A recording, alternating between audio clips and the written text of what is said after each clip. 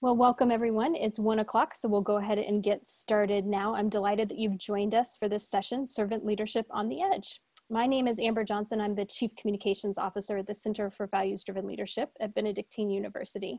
And I want you to know that when we started planning this session six or eight weeks ago, the edge we were talking about was the coronavirus, which has, of course, been so disruptive for our health and our families and our um, employment as well. And in the last few weeks, we've uh, found ourselves at another edge. It's not a new one, of course, but that's the edge of the racism and inequality that exists in our society. And we have been reminded once again, as we needed to be, uh, of our responsibility to addressing that, for addressing that. And so, as we come together today, I think there has never been a better time to be talking about servant leadership, and I'm glad that you've joined us for it. Let me take just a minute or two to tell you about the Center for Values Driven Leadership. We're part of Benedictine University, and our purpose is to help values driven leaders develop themselves and others so they can build flourishing companies that transform business and society in the way you want to do that. And we do that through consulting, we do it through research, we do it through thought leadership, and we do it through education, like this session today. Um, we also have an award winning PhD program that's designed for senior leaders. And we don't have time today to tell you about the different options we have, but I want to let you know that next week we will have an online session um, to tell people about that PhD program. We'll share some links in the chat function. And I'm also excited to announce that we're launching a new series of webinars designed to help business leaders confront racism and build inclusive organizations. And you'll be hearing an announcement about us about that in the coming weeks. Uh, let's just do a little housekeeping for today. Here are the guidelines. Keep your video off and your voice on mute, please. That'll help cut down on the background noise. But we do want to communicate with you, and we'll do that through the chat box. You can find the chat box at the bottom of your screen in the bar. There should be a little option that says chat. When it comes up, you'll see it looks something like this. You can change that everyone to Center for Values Driven Leadership, and then send any questions or comments you have directly to me. I'll be the only one that sees those. And at the end of today's sessions, I'll moderate session, I'll moderate questions for us. So go ahead and find that now if you'd like so that you're ready and send questions anytime throughout the conversation. Now it's my pleasure to introduce you to Gus Gustafson, Dr. Gus Gustafson. Gus is a core faculty member with the PhD program in Values Driven Leadership and has a PhD in Organizational Development from Benedictine University. He has spent his career as a Chief Learning Officer and in other roles really helping people develop their leadership and think about how they approach the culture and personal life of an organization there is absolutely no one better to speak to us about servant leadership. His mm. dissertation focused on the topic, and for many years he was on the Speakers Bureau of the Center for Servant Leadership. So you really are seated at the, sitting at the feet of a gifted teacher today. Gus, let me turn it over to you. Well, Amber, thank you. Thanks for that kind introduction. And I'd like to thank each of you for taking 30 minutes out of your day to learn a bit more about the concept of servant leadership, its genesis, and how it's just as applicable today as it was over 50 years ago when Robert Greenleaf first penned the essay that started the movement that suggests and now has been empirically validated over and over and over again that there is a better way to lead than the hierarchical, bureaucratic approach that has been so common in workplaces for literally hundreds of years. And the really beautiful thing about servant leadership is not that it only feels like the right way to the right thing to do, a better way to lead, but it actually generates consistently and significantly better results from higher engagement to sustainable profitability across all sectors.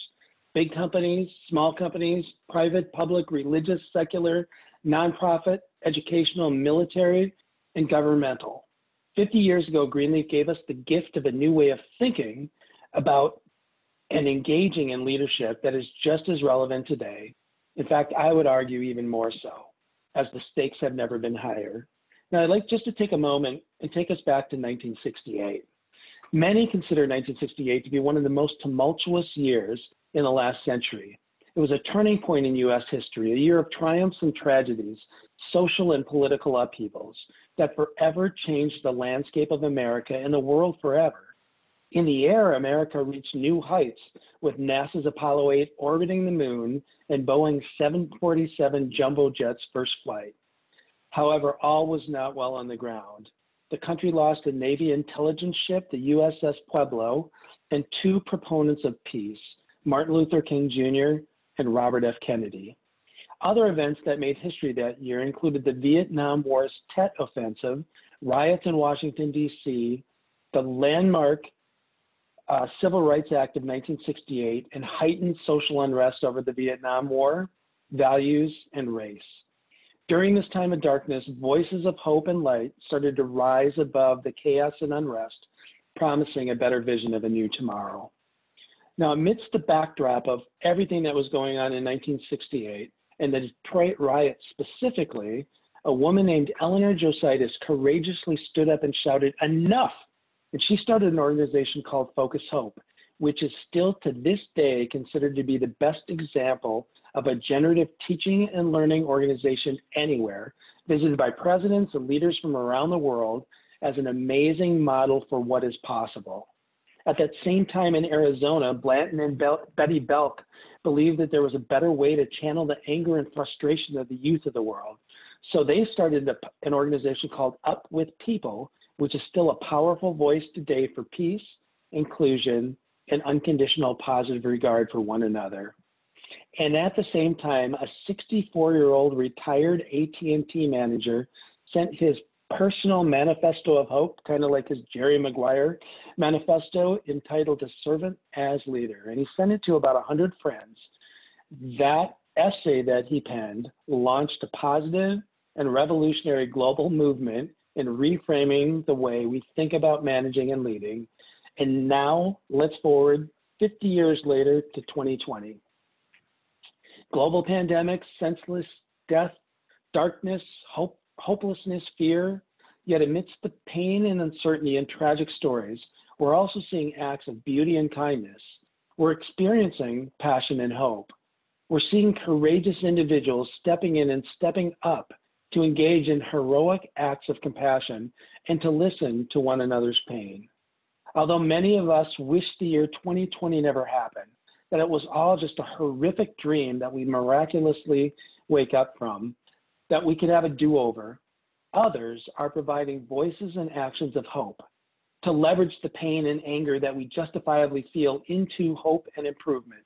Like Greenleaf's voice in 1968, many are bringing their unique gifts and passions to invite us to answer the question what can we learn from this and what can we do from this? As one way to keep our family personally connected during this crazy time, my wife sends out a daily inspirational quote or meme or picture, anything to remind us of what is possible when we unconditionally care for one another as human beings. This morning, she shared a really, really good one that I'd like to share with you now. It's written by Leslie Dwight, the creative director and co founder of Strand Social. She posted this on Instagram about 20 hours ago, and my guess is it's going viral right now.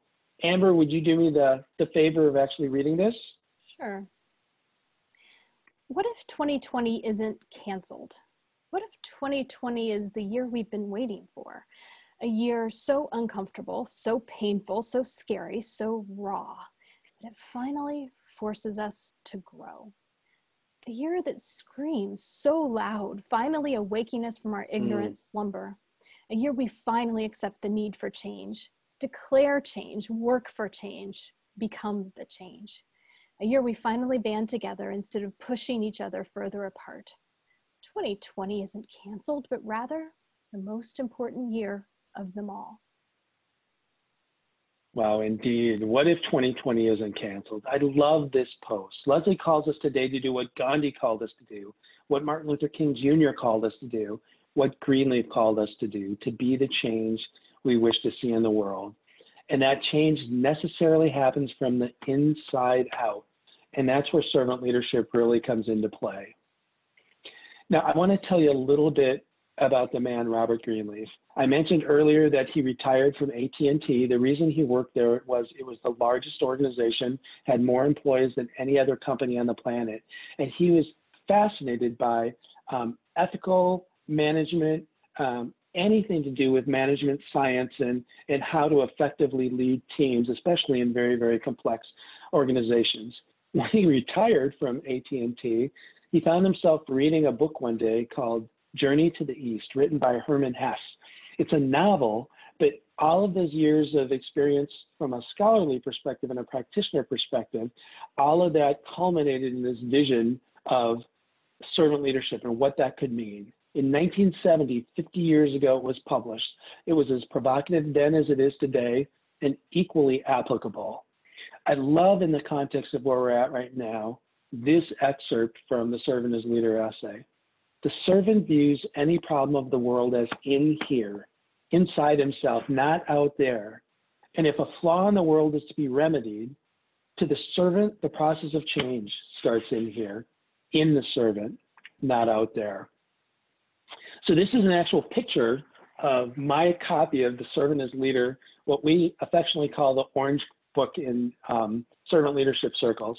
It's only 37 pages long, and it's the most tattered, highlighted, well-used, um, and influential writing in my entire leadership library. And for those of you who know me, that's saying something. Peter Senge recently um, quoted, recently wrote, and he's the author of The Fifth Discipline, uh, so his name may ring a bell for you. He says, I believe that Greenleaf's essay, The Servant as Leader, is the most singular and useful statement on leadership that I have read in the last 30 years. Despite the virtual tidal wave of books on leadership, many of which are on my bookshelf over here, there is something different about Bob Greenleaf's essay, something both simpler and more profound. This one essay penetrates to such a depth that it resonates on us like the aftertones of a Buddhist meditation gong, calling us to quiet. Rereading the essay, I find myself stopped repeatedly by a single sentence or phrase. For many years, I've simply told people not to waste their time reading all the other managerial leadership books. If you are really, really serious about the deeper territory of true leadership, I would simply say read Greenleaf. And I wholeheartedly agree with Peter on this point. So, what did Greenleaf actually say? How did he define servant leadership? And again, he wasn't expecting this to go to an audience any bigger than 100 or so of his friends. He talks about the servant leader as the servant leader is servant first. It begins with this natural feeling inside that one wants to serve, to serve first. Then conscious choice brings one to aspire to lead. That person is sharply different from one who is leader first, perhaps because of the need to assuage an unusual power drive or to acquire material possessions. The leader first and the servant first are two extreme types. Between them, there are the shadings and blends that are part of the infinite, infinite variety of human nature. Now, he goes on to give us the best test of how you can see if somebody truly is a servant leader. He says the best test and difficult to administer is do those served grow as persons? Do they, while being served, become healthier, wiser, freer, more autonomous, more likely themselves to become servants? And what is the effect on the least privileged in society? Will they benefit or at least not be further deprived? So Greenleaf's written tons of books, articles, and essays about the philosophy of servant leadership. At last count, I found 168 different characteristics and attributes that he uses to describe servant leaders. Thankfully, Larry Spears, who for many years was the executive director of the Greenleaf Center for Servant Leadership after Robert Greenleaf passed away, he's given us his very own David Letterman top 10 list of the characteristics of servant leadership. So when you look at these listening, empathy, healing, awareness, persuasion, conceptualization, foresight, stewardship, commitment to the growth of people, building community, all of these attributes are described in depth in some helpful resources that I'm going to be recommending at the end of this webinar. And all of these attributes are inextric inextricably linked and do a beautiful job of describing servant leaders. Now, upon first glance, these can seem kind of motherhood and apple pie-ish, like if we just get together, hold hands, and sing kumbaya, everything will be okay. In reality, servant leadership is much deeper and more practical than that. People that think that servant leadership is about the soft stuff have never really engaged in true servant leadership. What I love most about servant leadership is it's a both and model, not an either or model. It's focusing on people first and creating the conditions for everybody to be able to flourish and become the best versions of themselves while at the same time relentlessly pursuing the organizational vision. And back when Greenleaf first started writing about this, it was something that just maybe felt good to do. We now know through decades of empirical research that it really is one of the best ways to lead. Now, you may remember the, the book Good to Great. Um, Jim Collins sorts through 1,435 companies, all public companies that he can go back and look at the financials. And he looked at 10 year period of time where there were 11 companies that rose to the top where they significantly outpaced their competitors in every different financial metric that you could possibly look for. And he said, This is not going to be a leadership book. It's going to be about anything about leadership. We're going to look at the principles, the practices in the organizations that created these companies or allowed these companies to be successful. Well, being the good researcher that he is, he had this team of researchers looking through all the data, and they came back to him and said, Jim, I'm sorry, there is something different about the leaders at the top of these organizations. And what they found was that the leaders at the top of these organizations had this unbelievable personal humility about themselves. When people would say, "How were you successful?" they would describe it as, "Gosh, I was surrounded by good people," or, or um, "Gosh, I was lucky to be in the circumstances that I was in," or "People came into my life at exactly the right time." But paradoxically, they're able to hold that personal humility with this deep, ferocious resolve to meet the organization's expectations and to blow them out of the water. And it's really kind of this paradox that servant leaders are able to embrace and to lean into both spaces. Again, uh, it's it's a gray area. It's not not black and white. Um, and so when I think about this notion of why in the world would we be talking about it today? Does it really work? Collins study points us and tells us that it does. And I've got some examples that I'm going to share with you of other organizations that have proven that when you uh, embody a servant leadership philosophy and put it into practice, it actually does work. Um, but what I love is is there's some leadership scholars and the people that study leadership more than anyone else on the planet that have looked at Greenleaf's writings and they talk about how relevant it is today. Dr. Ken Blanchard, who most of you have probably read One Minute Manager, um, however long ago that came out, he's written more books on management and leadership than I think any other human being on the planet. Ken says, I truly believe that servant leadership has never been more applicable to the world than it is today. Not only are people looking for a deeper purpose and meaning when they must meet the challenge of today's changing world, they are also looking for principles and philosophies that actually work. Servant leadership works. Servant leadership is about getting people to a higher level by leading people at a higher level. And Meg Wheatley, um, who is one of the, I think, the most prolific and best scholars on, on leadership, says, Every time I read Greenleaf, I am both humbled and awed. 50 years ago, he wrote clearly and forcefully about the issues that still challenge us today. It is now time to act on his visions. And I wholeheartedly agree. So when I ask people, why would we, you know, want to create a culture of, of servant leadership? Why would we pour effort and energy into caring for our people and creating the conditions for our people to flourish? The short answer is, as, as I mentioned earlier, that it actually works. There's a handful of companies that invested in servant leadership back in the 70s after his first essay got published. And um, they took their organizations to unbelievable heights that they never they never dreamed um, they could prior.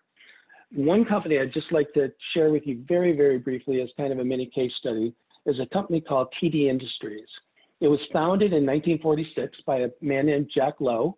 In 1952, it was the first company to offer employee ownership out of all companies. In 1972, they were the first company to adopt servant leadership and one of only a handful of companies to be listed on Forbes Best Companies to Work For list every year since its inception. So Jack Lowe got found this this servant as leader essay that Robert Greenleaf put out and started having every single employee that came into the organization read the servant as leader essay. And it's only 37 pages, but it's not an easy read. TD Industries is one of those organizations that, unless you look at the most admired companies, you may never have heard of.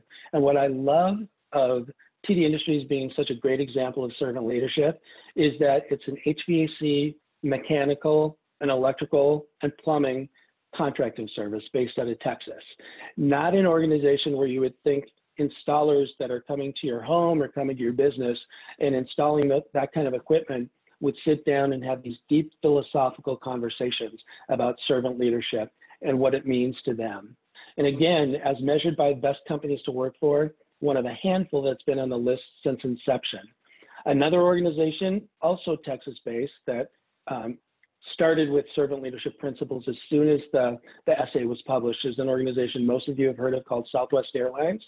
As you know, um, Herb Kelleher, Kelleher was kind of a radical when he came um, into uh, Southwest Airlines and said, I'm going to create an organization um, like nobody's ever created before in the airline industry. He did everything wrong by con- conventional wisdom. He said, Our customers are not number one, our people are number one.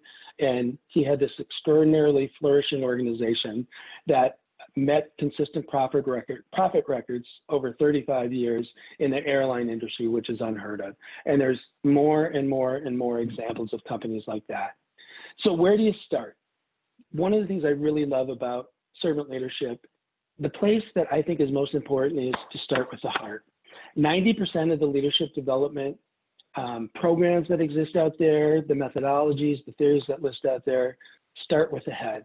And I think to really understand Greenleaf and to really put his practices or his principles into practices is we need to start from the most underutilized muscle, leadership muscle in our bodies, which I believe is the heart.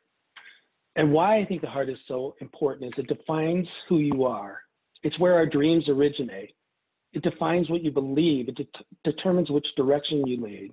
It's where our deepest passions reside. It's where vision is ignited. It's where spiritual communication occurs, whatever that means to you. And it's where character comes from. And we all know that that is an extraordinarily important aspect of leadership, character, especially during turbulent times like this. So again, Greenleaf gave us a philosophy. He left it up to the rest of us to figure out what does a methodology look like to get us there. So I'm very, very quickly going to show you a high level model that's been developed over the course of the last two decades that show the five different roles that leadership, servant leaders engage in. The first is this notion you see in the center of the circle of leader as authentic self or servant leader as authentic self. It's the leader being vulnerable, the leader being authentic, learning agility, uh, the leader modeling what it is that they want to see, and also caring for the people um, in which uh, he or she serves in the organization. The bottom right corner, you'll see leader as teacher and learner. Servant leaders are great teachers, they're great learners, and they're great storytellers. They're amazing relationship builders at the one-on-one level, at their self level, interpersonal, intrapersonal, team and organizational level. Servant leaders, as, as Greenleaf talked about, conceptualization and foresight, also have this uncanny ability to see a preferred future and then help other people see that same vision and then literally build the bridge to get them from here to there. And finally, and this is the part that oftentimes um, servant leaders leadership gets a bum rap for, is they get results, and they're not only they're not only good results, they're significant and sustainable results. So I take into account all 10 of those characteristics, and we've all been watching webinars right now and reading articles about here's the top three things you do, or the top five, or the top 10 leadership attributes or characteristics that you need uh, to be successful migrating through the turbulent turbulence that's going on today. I want to really try to sum up the essence of, of Greenleaf's all of his thinking around servant leadership and two of the really most important principles that I believe um, that we have to tend to today. Number one, very simply, simply put, is taking care of our people, ourselves, our families, the communities in which we serve, our teams, and our organizations, and being really, really intentional about that. And second, great leaders have this ability to say, okay, we're going to confront the brutal reality. These are the things that we're actually living under, but also have this amazing ability to create a compelling vision for the future that looks different than other people and help them um, to see that and to come along where you can start taking baby steps to move that direction. So the two things I'm going to challenge you to do to immediately put this in application for yourself is to think in terms of what's one thing I can do right now to better care for fill in the blank myself, my family, my team or organization, my community. What's one immediate step I can do to start moving in a caring direction that I may ha- I have or may have not been focused on with all the tyranny, the urgent, and all the noise that's going on. And then number two, I'd invite you to imagine yourself a year from now. Imagine you've you've gone to sleep tonight, a miracle occurred, occurred in the world. It's a year later and you wake up and everything is functioning exactly as you think it should, or um, all of all of the different things that you believe to be true have been put into place. So I want you to get that compelling picture of the future and then think, what's one thing that I can do today to get one step closer to that vision for the future? So I want to leave you with this quote. Um, everybody can be great because anybody can serve. You don't have to have a college degree to serve. You don't have to make your subject and verb agree to serve. You only need a heart full of grace and a soul generated by love. It's one of the most beautiful things that Martin Luther King has said, and it gives me hope, and I hope it gives everyone hope that regardless of um, where you are in life's journey, regardless of whether you've spent years of your life studying leadership or you've been called into a leadership role, everybody can be great because everybody can serve. And Amber, that leaves us two whole minutes for uh, questions from the group. Absolutely. Well, we promised people we'd deliver content in 30 minutes. I think we can stay on the phone longer and answer some questions. Um, for those of you that do need to drop, go ahead. We understand.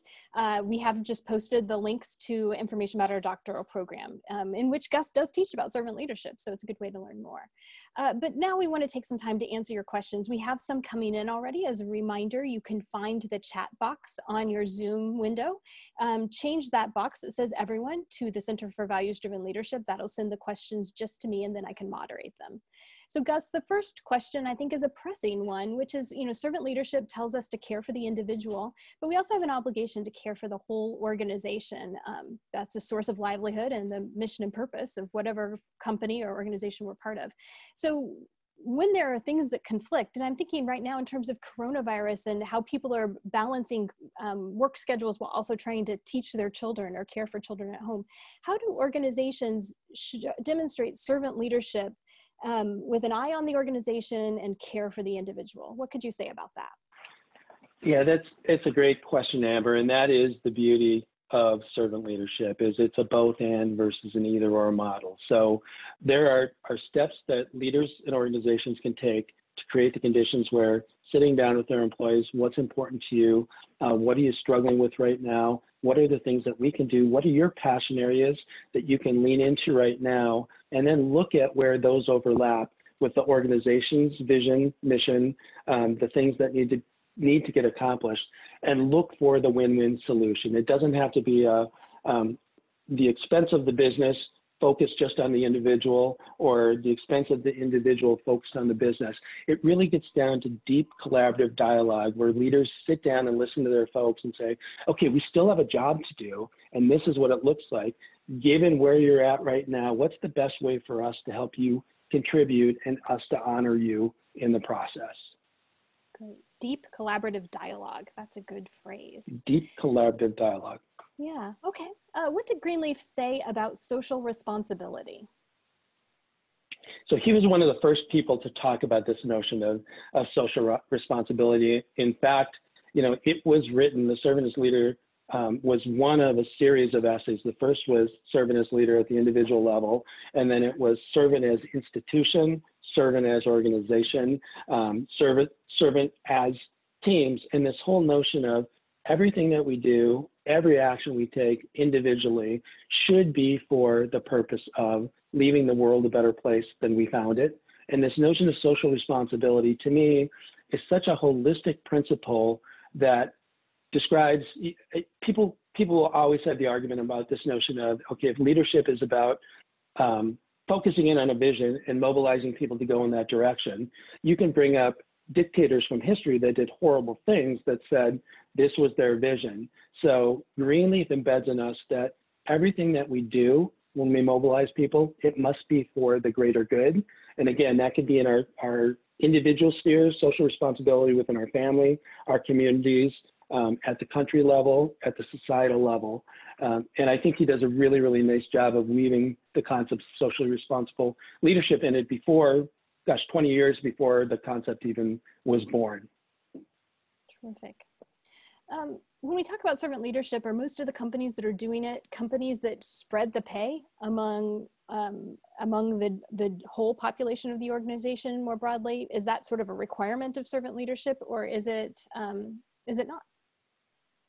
No, it's a great question. Um, companies that engage in servant leadership behaviors um, and methodologies, all different industries, all different sectors, all different uh, comp models based on what's contextual to that particular industry. So TD Industries, for example, felt it was really, really important for them to be an employee-owned organization. So that's one of the things that um, made contextual sense for them and their business and to keep their people motivated and exciting and to have a CEO mentality. But I've seen servant leadership enacted, um, again, companies across, literally across all sectors, um, across geographies, um, six of the seven continents. I'm not sure in Antarctica penguins are engaging in servant leadership yet, but there is no one model that says thou shalt do it this way. It's taking the concepts of servant leadership and a model and adapting it and customizing it to the context of the individual organization and their needs.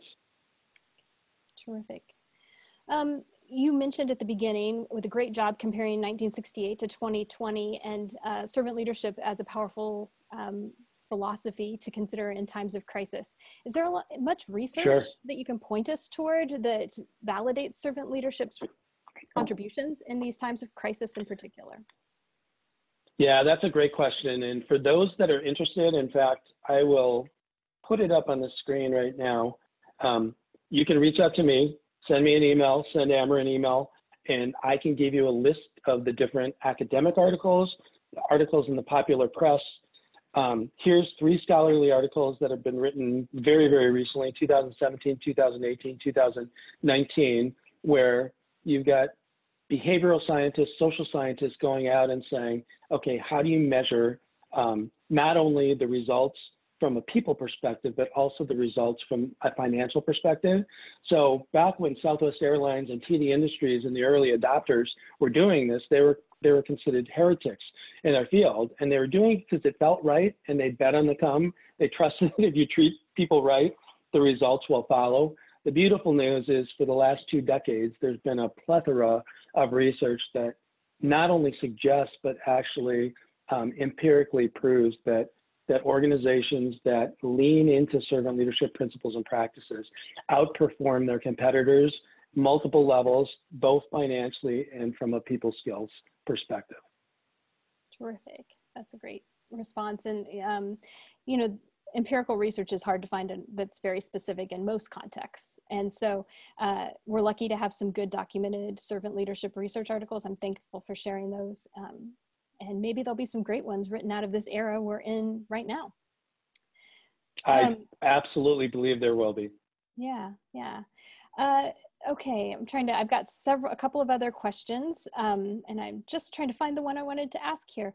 Okay, so you mentioned the importance of setting a clear vision. Um, is that the leader's job, or should it be something that comes from the, the diversity of stakeholders involved in the organization?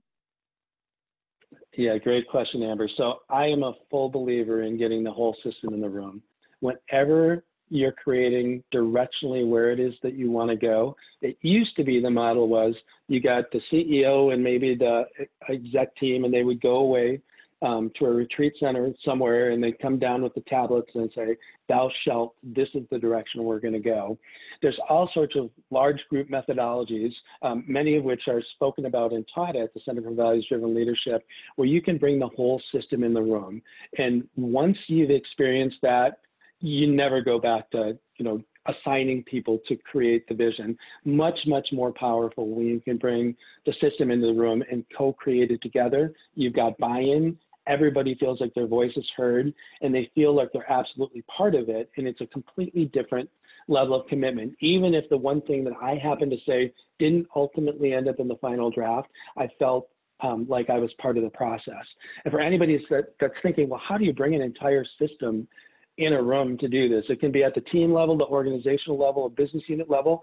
We've seen companies shut down, manufacturing firms literally shut the line off for three days and take all of their employees and sit down and, and co-create the vision of where they want to go because they believe it's that important.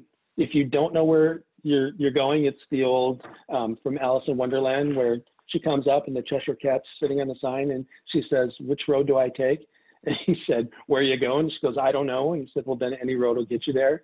The more people that can be involved um, in the vision, the more beautiful it becomes and the more inclusive it becomes because you're getting, um, you're getting thinking from everybody within the system.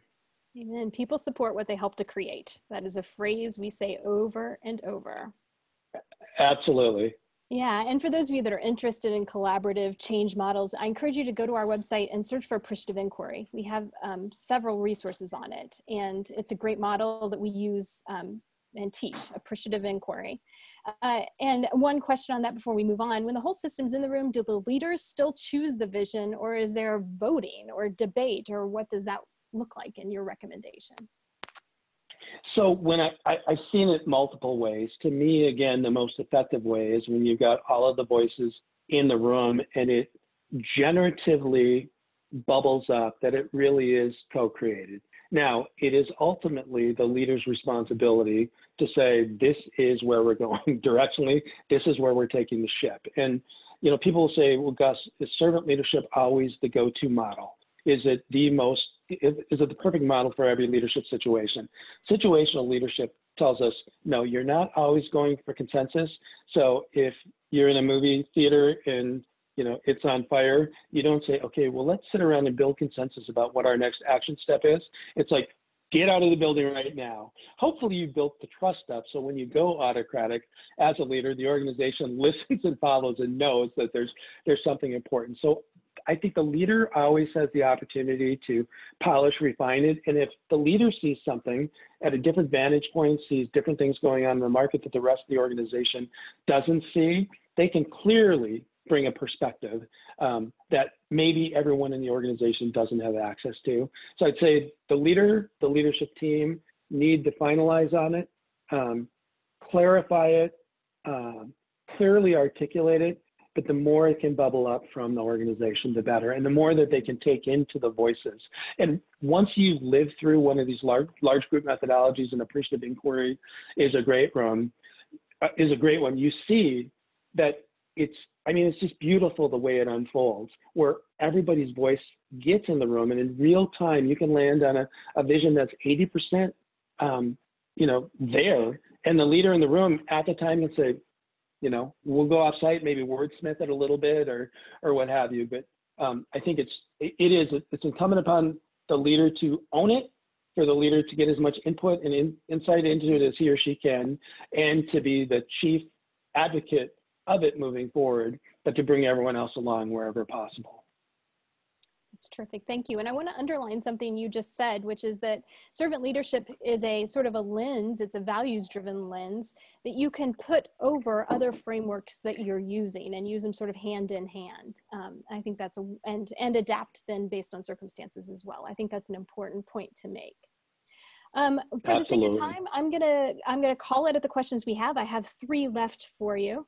You know, someone asks, wouldn't it be easier to do servant leadership if we had some changes in the law? and um, ideally, you know, there's a lot of perfect world. I'm wondering if you can just comment on how hard it is to do servant leadership if you're in a, publicly traded company or a venture capital situation. What's that look like there?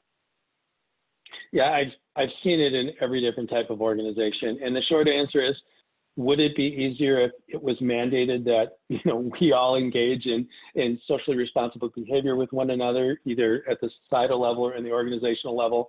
And clearly that would that would make things a lot easier and um, we wouldn't have as many barriers. I have not found an organization yet where you can't go in and at least sow the seeds of servant leadership. So i encourage people to think about whatever wherever they are in their organization wherever they are what they're passionate about in their community you don't have to go try to do everything at once. It's really the small steps. And as Greenleaf said, it starts from the inside out. And Arthur Ashe said, you know, use what you have, or start where you are, use what you have, do what you can. I've seen organizations that are very, very hierarchical command, you know, command and control organizations where they're pockets of servant leadership. And the most beautiful thing about it is when you get to experience that, is the rest of the organization will go, well, we're not sure what Amber's doing with her team over there, but they seem to be happy and they laugh more than anyone else, and they're getting results. We want more of what she has. So it's easy to use as an excuse, and it's a legitimate and valid excuse. If you're in an organization that just you know does not agree in putting people first or does not agree in um, creating the conditions for people to flourish you, you know do what you can to change it and if you can't it's probably not the, the right long-term fit for you but i believe that everybody has the opportunity and actually um, really the responsibility to do what they can and it's amazing how a simple conversation, sitting down with someone and saying, you know, what is it that you really care about? What is it that you're most passionate about? Those little stories are what ultimately build and turn into movements. Uh, you, you, know, the Margaret Mead quote that everybody goes to as never doubt that a small group of committed citizens can change the world. Indeed, it's the only thing that ever has. I, I mean, I fully believe in that. It's it, we're seeing right now in in the movements that are going on and the protests that are going on, things are changing. Laws are being being overturned based on people to have the courage to step up into their passion. Thank you. Two more questions. Let's do these lightning round. Um, the first one, Got why it. do you think, you know, so many of Jim Collins's organizations didn't survive? And uh, why do you think that is? I'm sorry, say the question again, Amber. I didn't so many of the organizations featured in Jim Collins's Good to Great haven't survived. And if these are level five leaders, why do we think that they didn't make it?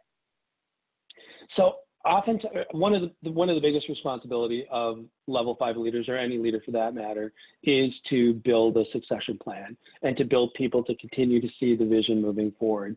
In most of those examples the leader who was um, the biggest advocate and proponent of servant leadership ultimately retired left the organization. Um, many cases the great ceos say nobody should be in a ceo role longer than than 10 years and oftentimes when a new CEO comes in and says, okay, everything that the old leadership team is doing is wrong, I want to bring something else in that's new. So I've seen organizations that have flourished, won awards, um, people people come to them for their culture, and then you get a change of leadership and suddenly culture doesn't become or culture isn't a priority as much as it was. Servant le- leadership isn't a priority as much as it was and things kind of go backwards and regress. So i think it's really important to be building that leadership engine of a whole cadre of folks. And if you've permeated through an organization the philosophy of servant leadership they won't allow somebody else to come in and change the direction. There will be so much upheaval from the the stakeholders within the organization Terrific, thank you. Um, one last question. Uh, well, one statement and one question. Someone just asked if the recording sure. will be available. We will. It'll be. I put the link up. It'll be on that page. Um, I hope tomorrow, if not tomorrow, Monday, you can watch for it and and revisit this topic. Um, and that people want to do that, Gus, is an indication that this is a timely topic. Um, last question for you is this. You know, I know people are looking for resources. If they want to do the work of thinking through this a little further, um, I know you've got a list and you can um, share that with people via email. Others are asking, uh, there's the James Autry book, The Servant Leader, or the Robert Neuschel book, The Servant Leader, Unleashing the Power of Your People. Curious, you know, when you look at all across them, other than the Orange Book itself, what should people be reading? Your top recommendation. Yeah, great question. So my top three books, Servant Leadership, which is basically it's all of Greenleaf's readings collected into a single um, resource. It's a journey into the nature of legitimate power and greatness. It just had their 25th anniversary edition, and that was originally written by Robert Greenleaf. It's a little bit heavier because um, Greenleaf writes in very prosaic form. A really um, a really good go-to book that's actionable is the James Autry book, The Servant Leader, How to Build a Creative Team, Develop Great Morale, and Improve Bottom Line Performance. You may or may not know that, that James Autry was the CEO of Meredith Corporation for 10 years and again said in his tenure, I don't think anybody should be the CEO for longer than 10 years. And his wife at that point in time had been staying home taking care of their their son who had autism, and he said, "Okay, it's time to flip flop roles." So he came um, he came home, uh, left the corporate world, and started writing and taking care of his son. His wife went on to become the um, lieutenant governor of the state of Iowa, and he writes the most beautiful and prolific. And he really does a nice job of tying the here's what you do, and here's the, the tangible results you can get organizationally. So that that those two would be my go-to books. All right. And with that, I want to thank everyone who's hung in there today for this Q&A. I hope you found it productive and that this philosophy inspires you and you can put it into action through your own methodology. Any closing thoughts, Gus? No, just please don't hesitate to reach out if you have any questions. We're just scratching the surface on something that I think is one of those the most amazing gifts um, that we've been given. And for those of you who may be saying, gosh, was Greenleaf really the guy that put the, the hyphen between the word servant and leader?